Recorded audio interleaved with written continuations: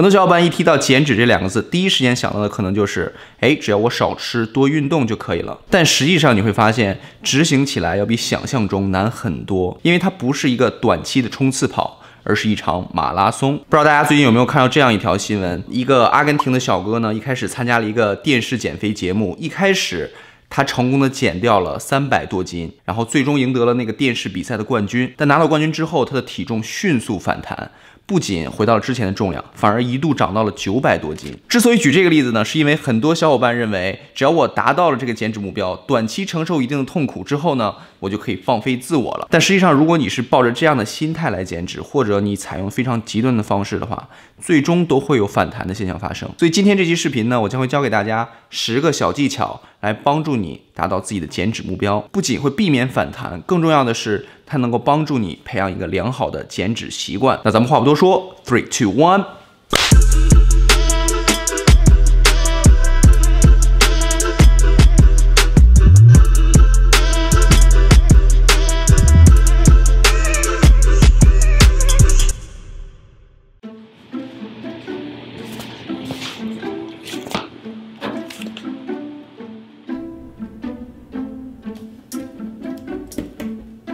很多小伙伴说，帅哥，你最近为什么不拍 vlog 了？我拍 vlog，I'm sorry。今天其实可以算是一个 vlog 吧。最近生活比较平淡，每天都差不多。原因是咱们一直在进行那个六十天的夏日挑战。那今天利用这点时间呢，正好给大家分享一下我在减脂期的一些小技巧。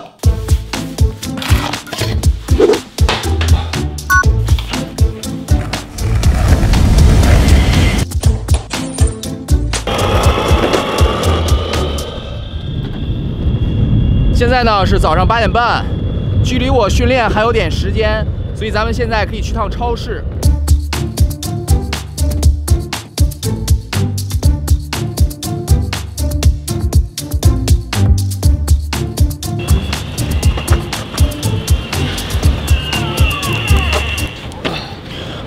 我又来到了这个超市。既然到了超市，咱们就讲一讲跟饮食相关的东西。大家看到，只要是这种带包装的食物，基本上后面都会有标签。读这种标签其实是非常重要的，它会让你减脂期在选择食物的时候变得简单很多。所以在这里呢，我简单给大家说一下，我一般都会怎么看标签。就以这个乖乖为例子吧。大家看它的标签在这里。第一眼咱们要看的呢是它的计量单位，因为如果你只看数据的话，有些食物它的糖和油都非常少，是因为它的单位很小，放多了其实还是会超标的。就比如说上次咱们放的那个喷油，然后咱们看的就是它的碳水、脂肪和蛋白质的量。一般情况下呢，我会尽可能的避免这种高糖、高脂肪或者有 trans fat 的食物。如果是加工过的食物，我还会看它备注里的一些成分，尽可能的避免这种淀粉类。糖类还有油类这种添加剂，值得注意的一点是，标签上写的零，它并不代表真的是零，只要是小于零点四的数据，都可以写成零。所以还是以那个喷油为例子，它喷多了跟普通的油是没有任何区别的，所以大家一定要注意这一点哦。哎，乖乖还是很好吃的，但是吃不了。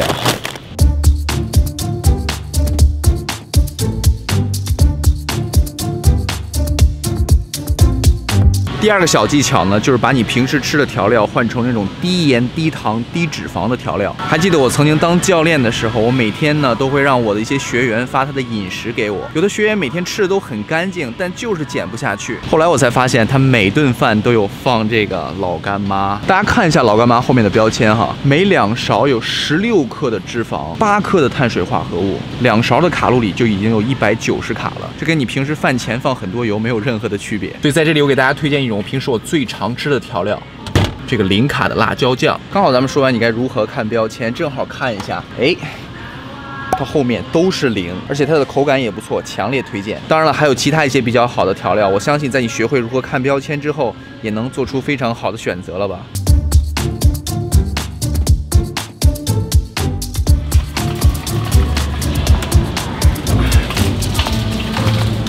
OK，当一个人吃饱了呢，你的胃就会发信号给你的大脑说，哎，我吃饱了，你就别让我再吃了。喝更多的水呢，会加快这个过程，所以就会更容易让你有饱腹感。难道这就是很多人吃自助餐之前不喝水的原因吗？除此之外呢，我看很多小伙伴为了体重秤上看得开心一点，他居然会减少你喝水的量。但这样的话其实会起反作用，因为缺水呢会让你体内更容易囤积废物、便秘，所以反而会让你变得更重。更重要的是，咱们人身体代谢脂肪的反应叫做 lipolysis。整个反应的过程呢，都需要水来进行参与，所以说想要减脂呢，你就必须喝够足够的水。美国国家医学会建议呢，成年女生每天要喝至少二点七升的水，而男生呢要至少喝到三点七升的水。像这么一桶刚好是三点七升。如果你跟我一样每天运动量非常大的话，我建议女生呢要喝到三点七升，而男生呢要喝掉五点二升左右，这样会更大程度的加快你体内的新陈代谢。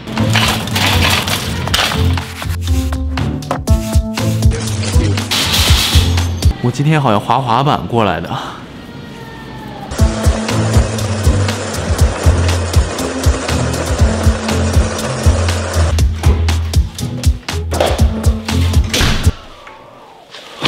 啊，终于到家了。现在呢，需要准备一下今天的备餐。但是在这之前呢，有个小技巧想分享给大家。如果大家刚开始减脂，不计算摄入量的话，你只需要把自己平时吃饭的这种盘子或者碗呢，换成这种小一号的。就可以减掉一些体重，但是这样减一段时间之后呢，你就可能会遇到平台期，因为这毕竟是一个比较折中的办法。所以在这里面，我还是要建议大家要粗略的计算一下自己的宏观摄入量。这样的话，在你吃东西的时候，大概能吃多少，你心里就会有个数了。计算方法现在有很多种，大家可以下载一个任何这种可以计算的小工具，你比如说那种薄荷呀，或者是 FitnessPal 都可以，按照他们上面的要求一步一步来，基本上每个人都能很快的算出你自己的宏观摄入量。但是值得注意的一点是，如果你体体重变化比较快的话，每隔一到两周你就需要重新的计算一下，因为你的体重基数变了嘛。这样的话就会尽可能的避免你平台期的出现。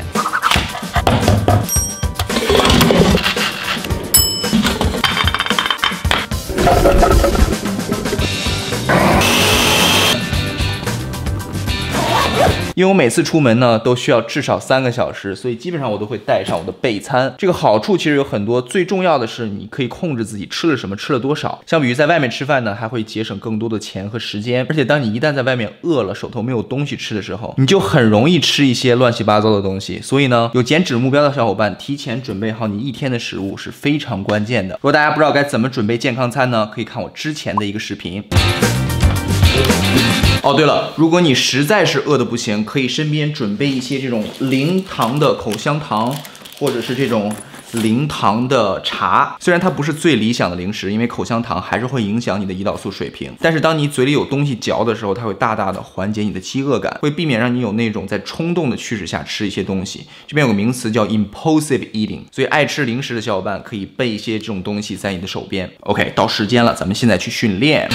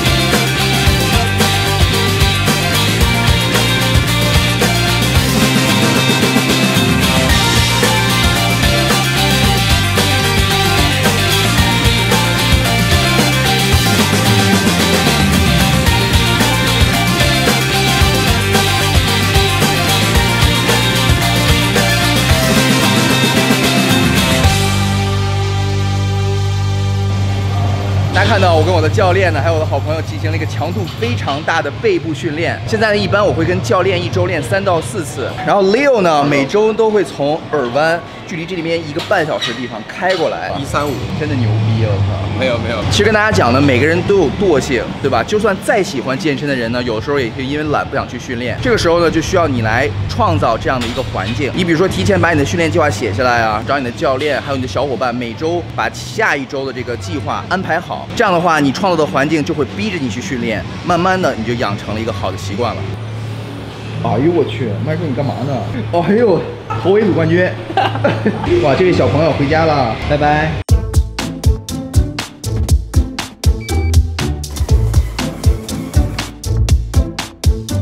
下一个小技巧就是，大家设置目标的时候，一定要设置比较现实的目标。我看很多小伙伴经常犯的错误就是设置一个比较自己难以达到的目标，比如说一周。瘦五斤啊、十斤啊。当然了，你脱水是可以达到的，但是你脱完水之后，就像我之前说的，你马上就会有一个反弹。所以设置一个合理的目标，比如说一周减一到两斤，是大部分人都可以实现和达到的。当你达到每周减一到两斤的这个过程呢，奖励自己一些小东西，衣服啊、鞋子啊，千万不要奖励自己火锅啊。这样的话会长时间的培养一个正面反馈的机制，久而久之就容易帮助你养成一个长期减脂的习惯。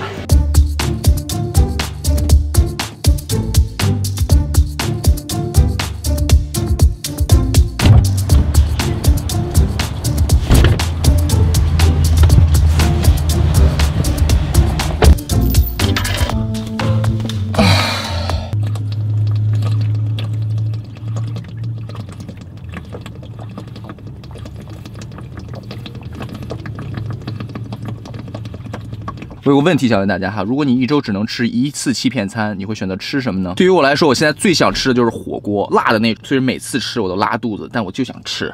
说到欺骗餐，可能很多小伙伴不理解这个原理，认为只要吃一段时间健康的食物，就可以随便吃任何东西来奖励自己。实际上，欺骗餐并不是适用于所有人的。起初，欺骗餐的原理是在你执行非常非常严格的精确到克的那种饮食一段时间之后，为了让你的身体避免适应这种饮食呢，而通过吃一些别的东西。东西来打乱你的新陈代谢，从而避免这个平台期的出现。但其实大部分人呢都不会像运动员那样每天计算自己的摄入量，精确到克。如果你每天吃的都不一样，或者每天吃的量都有区别的话，就根本就不存在欺骗餐这个概念。所以对于刚开始减脂的小伙伴呢，不需要过多考虑欺骗餐的这个概念哦，而是要找出一个既可以长期坚持，又比你平时消耗量要少的饮食。就像我刚才说的，如果你吃不了欺骗餐，可以用一些别的东西来奖励自己嘛。就比如说我经常哎买一些衣服。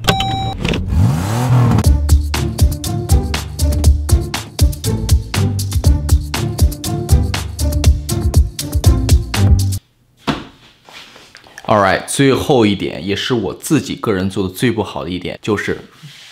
睡眠，睡眠对于减脂来说非常非常的关键。起初我不太理解，因为我每天都有监控自己的体重的时候，我发现我睡多睡少，我体重都会往下掉。但是后来我看了一篇文章，他说睡多睡少确实对你减重没有太多的影响，但是它却对于你减脂有非常非常大的影响。这篇文章上说，当你睡不好的时候，你在睡眠中的燃脂量是平时的二分之一。所以如果你的目标是减脂肪，而不单单是减重的话，有一个充足的睡眠是非常关键的，因为我本身有睡眠的问题，所以呢，之前我看了一本叫做《睡眠革命》的书，它里面有个概念非常有意思，就是每个人每天你只要睡够五个周期就足够了，一个周期一个半小时，有时候晚上睡得不够呢，白天我会补几个小时。我目前一直在使用这套方法，感觉还不错，所以分享给大家。如果大家感兴趣的话，可以去读一读那本书。而以上呢，就是我今天想分享给大家这十点减脂技巧，非常非常的多，所以呢，我给大家总结成了一个小小的图片，大家只需要关注公众号“建筑师师”。并在里面回复减脂技巧，就可以看到我总结的这个十点小卡片了。如果大家喜欢我这个视频的话，别忘了给我点个赞哦。没有关注我的小伙伴，别忘了点击关注，并把你的小铃铛点开哦。那今天这个视频就到这里，咱们下期再见。我去睡觉。